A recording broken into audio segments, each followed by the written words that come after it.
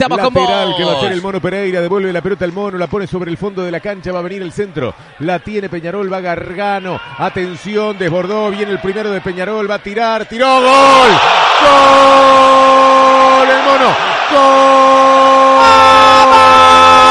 ¡Gaby subió!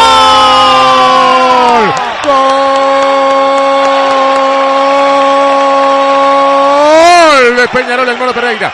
El Mono Pereira condimentó la jugada con gran, pero gran habilidad por el sector de la derecha. Llegó a la cintura final de la cancha y sacó un remate cerrado de un ángulo bastante complicado para marcar su gol en el amanecer del partido. Apenas tres minutos. Vino el lateral rápido, amagó, escapó y llegó. La metió dentro. Pasó a ganar Peñarol. Lo hace el Mono Pereira. Parecía imposible que la pelota se metiera por ese lugar. Una jugada totalmente sorpresiva para un arquero que no cubre su primer palo, que se confía demasiado en que el Mono Pereira iba a tocar la pelota hacia atrás.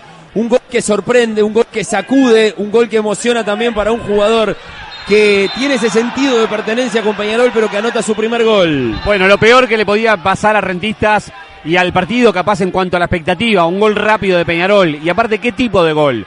Saca lateral por derecha al Mono Pereira, juega una pared con Gargano, le gana la espalda al futbolista Luca Morales, se mete dentro del área, el arquero eh, le regala por el único lugar donde podía entrar la pelota. Demasiados errores colectivos que capitaliza el expediente lateral. Golazo de Cololó. Sport 890.